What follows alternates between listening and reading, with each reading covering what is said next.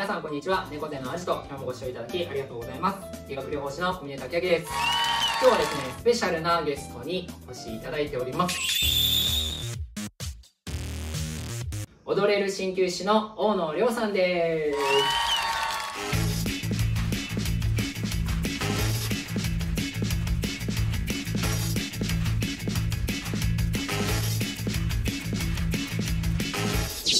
はいありがとうございます。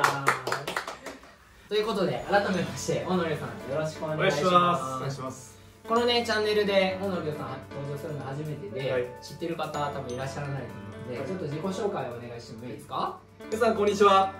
踊れる作業療法士鍼灸師の大野です。よろしくお願いします。お願いします。大野さんはですね僕がこの運営しているガーデンっていうランニングチームがあるんですもそこでですねえー走る前に置き針ですよね、置き針って皆さんご存知ですかね。こう体に。はい。春春ですそう、はい。貼って、えー、と針だとね普通はあの打ったら抜かなきゃいけないんですね、でも置き針だとそのまま貼った状態で効果が持続したままランニングができるというところでウォーミングアップの時にですね大野さんに置き針の講座と貼り方の説明とかをしていただいて、えー年に3回ぐらいかな、はい、やっていただいているんですけれども、はい、僕の信頼している鍼灸師の一人ですはい、それでですね今日大野さんに来ていただいたっていうところがですね実は猫背とすごく関与しているところで大野さんの活躍のフィールドがあるっていうところでですね大野さん今、はい。どんな活動されてらっしゃるんですか？はい今ですね男性向けの美容鍼灸と今ご紹介した通りスポーツ鍼灸の方をやっております。特にですね男性の美容って今だんだん盛んになってきていて特にこの顔のむくみとか息のかゆみの悩みとかあと頭髪とかいろいろありますけどもそういうのをね幅広く見ております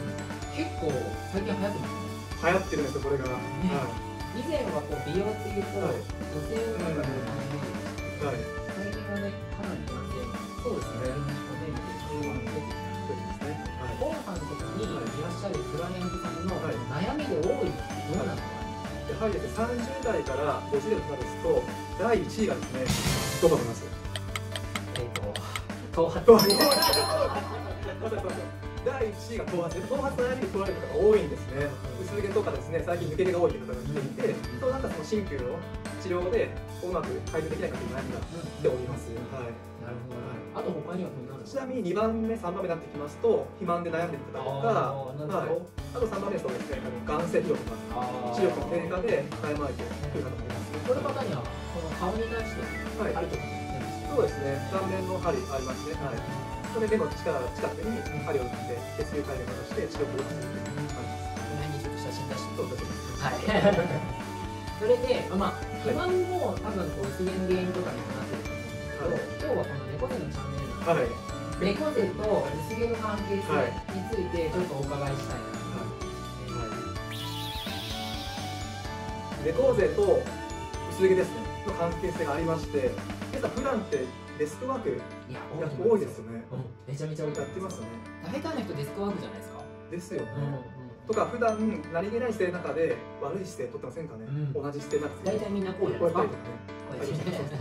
そうすると首肩はもちろん凝りますが、首肩が凝ってくると今度は顔です。顔の筋肉の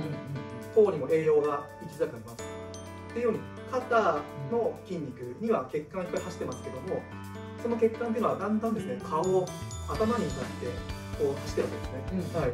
で結果的にその血液っていうのが循環してますから頭皮の方まで行くわけですけどもこれがですね同じ姿勢を長く続けていくと血流が悪くなり顔の筋肉も硬くなったりとかたるん。できたりとかしますし頭皮ですね。頭皮の方にも栄養が行き届かなくなってしまって薄毛が出てきますはい。でまず姿勢改善していって、まず頭皮まで、うんこの頭のところに血流を良くしていくっていうところがまずポイントとしていくんですねあと他に何かありますか？実際ですね、皮膚の重さって、まあ、普段意識しましたしませんよね。考えたことあります？皮膚の重さそう、皮膚の重さって体重の約6分の1でいくわけです。おはい。まあそんなに？はい。まあざっくり言ってしまうと、体重60キロでしたら、約10キロぐらいですね。まあ、個人差ありますけども、重さが加わってます。はい。それが、まあ、頭皮、まあ、上半身かけて、こうね、密着されてるわけですけども、それ自体ですね、重さがですね、こう重力がかかってるわけですね。ってなってくると、一番頭頂部って引っ張られてる感じがあるんですかにここでぐーっと下がっていってあここがそうだね、はい、一番かかりやすいですね、で実際頭皮のこう柔らかさ柔軟性が失われてくると血流が悪くなってますね、うん、悪くなってくると薄毛になるようにここの柔軟性が大事です、はい、なのでいっぱいある重さは当然ありますがここを柔らかくすることによって血流が良くなり薄毛が改善してくれるようなるほど。両方ですね、はい。そしたら姿勢を正すのと、はい、あとはその頭皮のマッサージをしていくってところが結構大事なポイント、はい、あとちなみに今こう皮膚が重さが落っこっちゃうから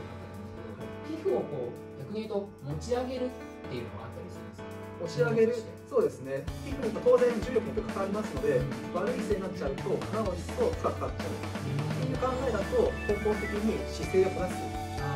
ことと同じ姿勢を避けることですね、はい、あとはまあそれなりに筋活動が、うん。ね、ないとやっぱりだなと、はい、晴れた時にね筋肉がね、はい、それでまあ姿勢を正して、うん、その姿勢を保持できる筋肉を養っていくことが大事です、はい、その通りまさに、はい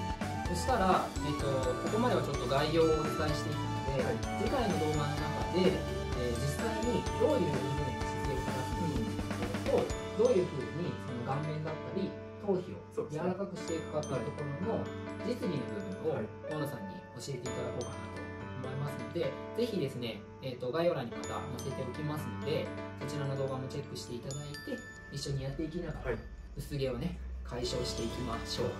はい、はい、ということで今回の動画はここまでにさせていただきます。今日の動画が参考になったよという方はぜひ高評価ボタンを。はい、そして猫背に関するですね健康情報を引き続き配信していきますので下の猫ちゃんマークからですねチャンネル登録をしていただければと思います。そして大野さん、えー、普段あれですよね、はい、いろいろと無料でオンラインで配信されていらっしゃるということなので、それも合わせて概要欄ですね大野さんの Facebook のリンクを貼っておきますので合わせてチェックしていただければと思いますそれではまた次回の動画でお会いしましょう。またね